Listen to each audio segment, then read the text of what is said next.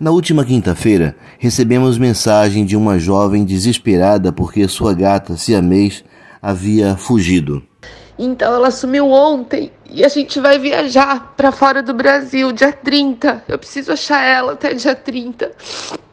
Eu acho que alguém pegou, ela tem um microchip, só que o microchip não é rastreável. Só se alguém levar ela no veterinário, aí o veterinário passa a maquininha, vai mostrar o meu nome e meu telefone. Mas por favor, me ajuda a achar ela. Por favor. Fiz a postagem e pedi mais detalhes, tentando acalmá-la e passar a confiança de que Teio iria voltar. Deus te abençoe, obrigada. Eu não te conheço, não sei de onde você é nada, mas muito obrigada mesmo, mesmo. Eu acho que nenhuma. Nada do que eu fizer vai poder agradecer você. Obrigada.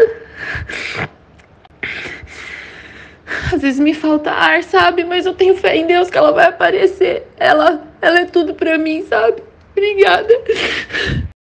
Na tarde de hoje, domingo, recebemos uma mensagem da nossa seguidora Sandra Laure, informando ter achado uma gata no bairro Boqueirão e, através da nossa postagem, localizou a dona.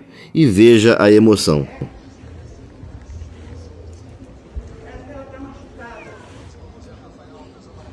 É a Teio. É Teio, amiga. Amiga, é